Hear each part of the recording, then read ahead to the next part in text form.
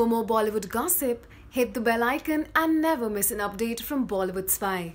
आजकल के फ्लैशी और लाउड गानों के बीच में एक रिफ्रेशिंग हवा लेकर आया है सॉन्ग ठहर जा, तू किसी बहाने से। आपको बता दो दोस्तों, आजकल जो भी सॉन्ग आते हैं, वो ढिचक ढिचक वाले होते हैं, जिनका बैकग्राउंड स्कोर बहुत ज़्यादा लाउड होता है नॉइजी होते हैं। लेकिन ठहर जा सॉन्ग के साथ ऐसा कुछ भी नहीं है। चलिए बात करते हैं वरुण धवन और बनीता संधू की जो फ़िल्म आ रही है अक्टूबर उसका ये जो सॉन्ग रिलीज़ हुआ है, इसमें क्या है खास? आजकल के सॉन्ग्स में जितने भी शब्दों का इस्तेमाल किया जाता है, वो या तो दारू होती है, या पार्टी होती है, या लड़की होती है।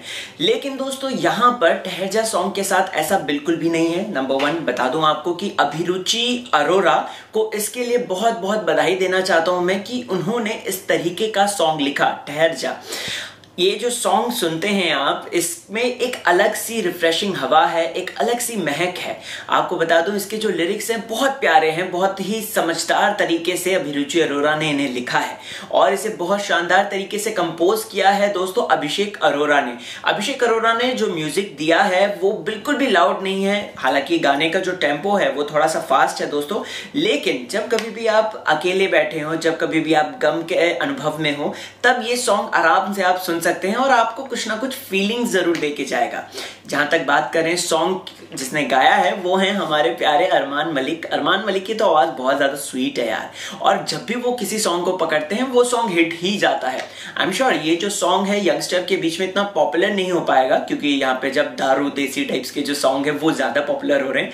लेकिन इतने सारे गानों में एक रिफ्रेशिंग हवा के तौर पर आया है ये सॉन्ग ठहर जा ठहर जा सॉन्ग की अगर मैं पिक्चराइजेशन की बात करूँ तो डेफिनेटली ये जो सॉन्ग है, ये बैकग्राउंड में ही चलेगा, क्योंकि इसकी पूरी फील वैसी है।